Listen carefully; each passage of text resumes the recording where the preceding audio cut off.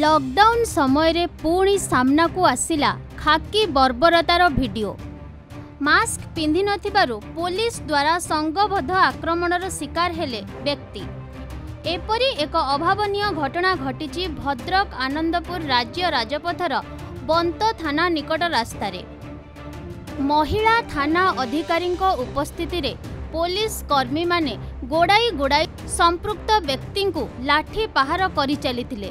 ବ୍ୟକ୍ତି ଜଣକ ଗୁରୁତର ହୋଇପଡ଼ିଥିବା ବେଳେ ତାଙ୍କୁ ବନ୍ତ ଗୋଷ୍ଠୀ ସ୍ୱାସ୍ଥ୍ୟ କେନ୍ଦ୍ରରେ ଭର୍ତ୍ତି କରାଯାଇଛି। ରାସ୍ତାରେ ଯୁବକଙ୍କୁ ବନ୍ତ ପୋଲିସ ମାଡ଼ ମାରୁଥିବା ଭିଡିଓ ଏବେ ଭାଇରାଲ ହୋଇଛି। ଜଣେ ଯୁବକଙ୍କ ଟ୍ୱିଟ୍ ଉପରେ କାର୍ଯ୍ୟାନୁଷ୍ଠାନ ନିଆଯାଇ ସମ୍ପୃକ୍ତ କନେଷ୍ଟବଳଙ୍କୁ ସସ୍ପେଣ୍ଡ କରାଯାଇଛି।